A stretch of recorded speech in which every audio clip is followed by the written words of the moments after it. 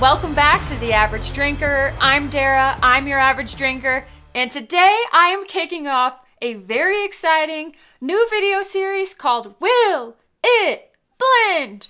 Also known as Will It Blend or Will It Blend? Will It Blend? Is it gonna blend? I don't know. We're about to find out though. So, in this first video, I'm gonna explain to you how this works and then I'm gonna make it happen. We're gonna be blending some delicious whiskey I think, I hope, I have no idea. Okay, so this is how this is going to work. I got a deck of cards right here. This is a stack of cards. It is comprised of three decks worth of twos, threes, fours, fives, and some wild cards. We'll get to those wild cards in a second, but the twos, threes, fours, and fives. So whatever card I draw out, if it's a two, let's just say it's a two. If I draw out a two, that means this blend is going to have two different whiskeys. Those whiskeys can either be ryes, bourbons, or American whiskeys. We've got all those on the shelf, so there are a lot to choose from. I think there are about 172. So, so back to that Joker card that I was talking about, that wild card. There are some wild cards in this deck. They're Jokers, and they're marked. Some of them say Dara's blend, so I'll just pick whatever number of blends and put that together in a blend. There's one that says Bill's blend. He'll make a blend and then I'll see if it works. And then there's another one.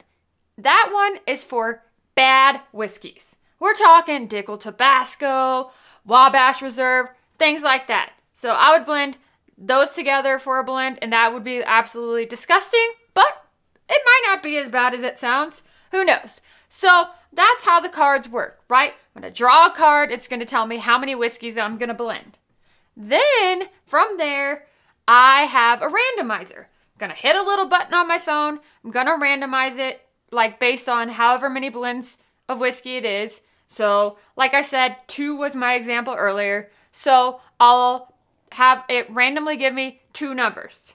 Then those two numbers are going to correspond with something on our whiskey sheet because like Bill has put this ridiculous whiskey spreadsheet together. It's amazing.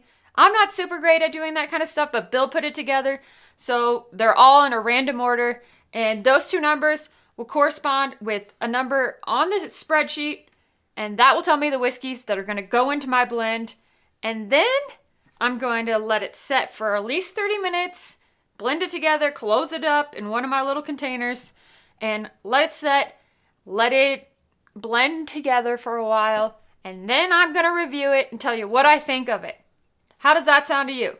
Sounds exciting to me. I'm pretty pumped. If I just confused the heck out of you with all my wording, so sorry about that. Now the fun part comes in. So excited. Let's do this. Got the cards in front of me. Now let's spread these suckers out. This is actually my favorite part right here. No, I'm just kidding. It might not be my favorite card, but I love playing cards. I love blackjack. I like gambling a little bit. So having cards is kind of fun for me. Okay, so I've got these kind of spread out a little bit. Now I am going to pick one card. Ooh, here we go. We're going to find out how many whiskeys are going into this blend. This could be really bad or really good. Who knows? We're going to find out though. So I'm just going to go working my magic. A card, a whiskey card. I'm to show it to you guys. I haven't even looked yet. All right. I am putting two whiskey. How, how funny is that? Literally, it's a two, which is kind of funny because I was just using two as an example a little bit ago. So, only two. And those are going to be half ounce pours. Every time I do this, it's just going to be a half ounce pour. So, got two. That's the answer to how many whiskeys are going into this blend. So, it's going to be a one ounce blend of two whiskeys. Now, let's use the randomizer on my little phone here shake it. Got one number, shake it. I got two numbers. All right, so those two numbers are 18 and 52. I just shook it and it gave me numbers 18 and 52. So that means whatever those numbers correspond with on the spreadsheet, those are going to be the whiskeys. Now I got to step away to figure out what those are. Okay, we're back. And as you can tell, I have two bourbons in front of me that are both 100 proof. what are the freaking odds? Like, literally, what are the odds? I have a Rebel 100. I have Remus Repeal Reserve 5, which is one of my all time favorite whiskeys. So now it's time to get to pouring these babies. I did say a half ounce pour, so I don't think this blend is going to be that bad. Could have had much worse options going together. Now we got two bourbons. I don't know what's to happen, but we're about to find out. So it is time to get pouring.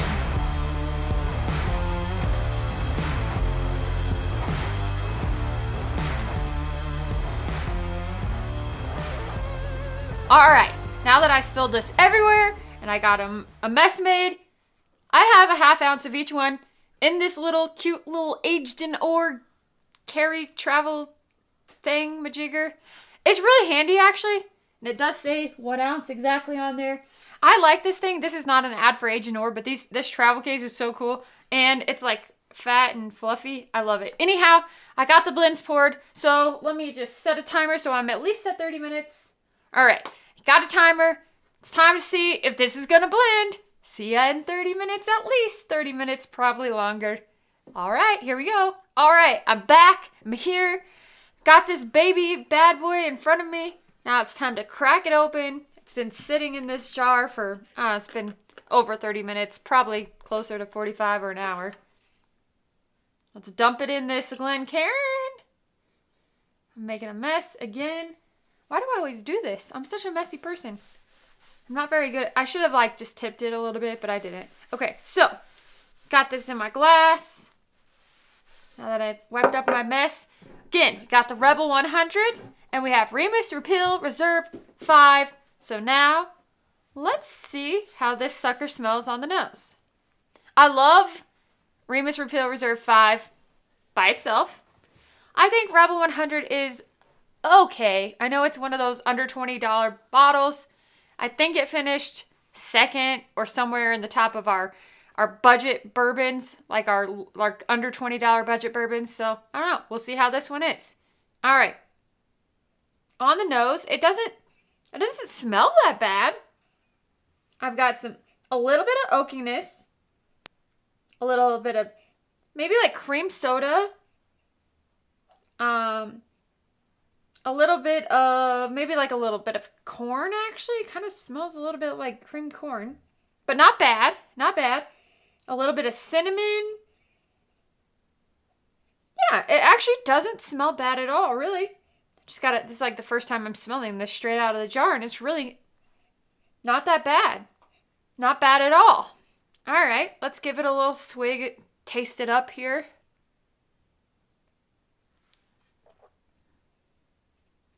Wow.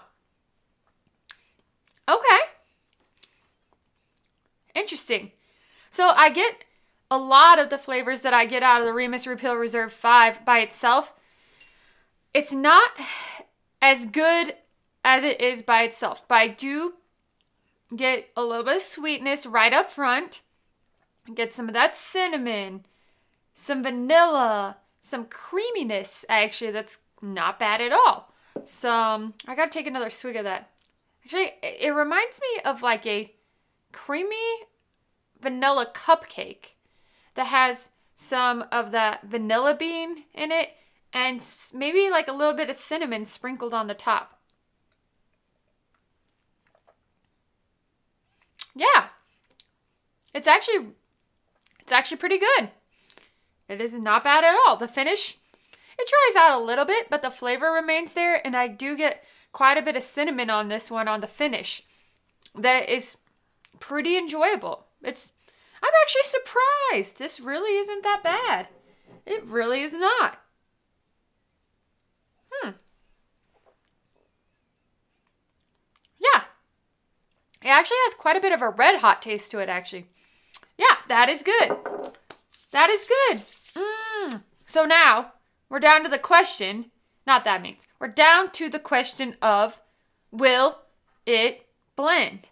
And the answer is ding, yes, it will blend. You can blend Rebel 100 and Remus Repeal Reserve 5 evenly, and it tastes pretty darn good. Not bad at all. I would actually recommend this one. So, if you got these two bottles at home, you want to give it a try, I dare ya. I dare ya. So I guess that's all we've got for episode one of Will It Blend.